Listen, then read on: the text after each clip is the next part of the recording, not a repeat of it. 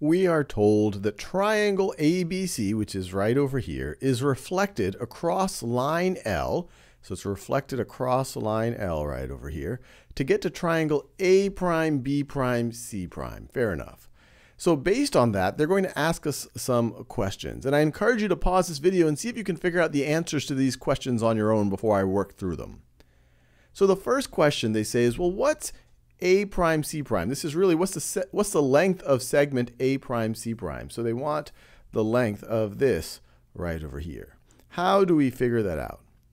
Well, the key realization here is a reflection is a rigid transformation.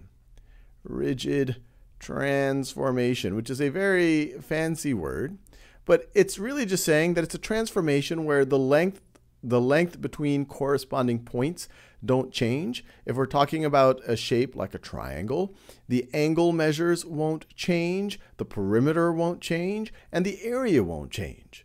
So we're going to use the fact that the length between corresponding points won't change. So the length between A prime and C prime is going to be the same as the length between A and C. So A prime C prime is going to be equal to AC, which is equal to, they tell us right over there. That's this corresponding side of the triangle. That has a length of 3. So we answered the first question. And maybe that gave you a good clue. And so I encourage you to keep pausing the video when you feel like you can have a go at it. All right, the next question is, what is the measure of angle B prime? So that's this angle right over here. And we're going to use the exact same property. B, measure, angle B prime corresponds to angle B. It underwent a rigid transformation of a reflection. This would also be true if we had a translation or if we had a rotation. And so right over here, B, the measure of angle B prime would be the same as the measure of angle B. But what is that going to be equal to? Well, we can use the fact that if we call that measure, let's just call that x, x plus 53 degrees, we'll do it all in degrees, plus 90 degrees, this right angle here, well, the sum of the interior angles of a triangle add up to 180 degrees. And so what do we have? We could subtract, let's see, 53 plus 90 is x plus 143 degrees is equal to 180 degrees. And so subtract 143 degrees from both sides. You get x is equal to, let's see, 180, 80 minus 40 would be 40. 80 minus 43 would be 37 degrees. X is equal to 37 degrees. So that is 37 degrees. If that's 37 degrees, then this is also going to be 37 degrees. Next, they ask us, what is the area of triangle ABC? ABC. Well, it's going to have the same area as A prime, B prime, C prime. And so a couple of ways we could think about it. We could try to find the area of A prime, B prime, C prime based on the fact that we already know that this length is 3 and this is a right triangle.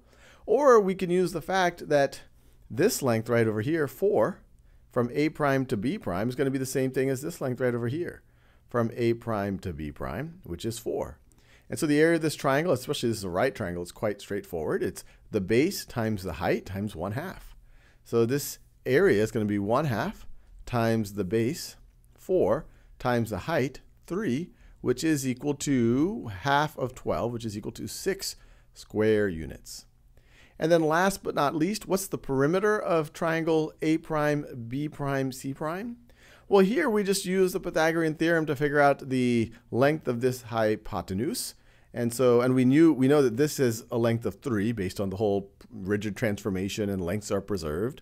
And so you might immediately recognize that if you have a right triangle where one side is 3 and one, another side is 4, that the hypotenuse is 5, 3, 4, 5 triangles. Or you could just use the Pythagorean theorem. You say 3 squared plus 4 squared, 4 squared is equal to, let's just say, the hypotenuse, the hypotenuse squared. Well, 3 squared plus 4 squared, that's 9 plus 16. 25 is equal to the hypotenuse squared. And so the hypotenuse right over here will be equal to 5. And so they're not asking us the length of the hypotenuse, they want to know the perimeter. So it's going to be 4 plus 3 plus 5, which is equal to 12. The perimeter of either of those triangles, because it's just one's the image of the other under a rigid transformation, they're going to have the same perimeter, the same area. The perimeter of either of the triangles is 12. The area of either of the triangles is 6. And we're done.